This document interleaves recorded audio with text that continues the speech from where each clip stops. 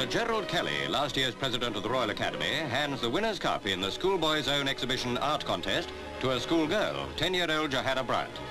Johanna, who beat hundreds of rivals of both sexes, proudly points out the painting that won her the prize. Catch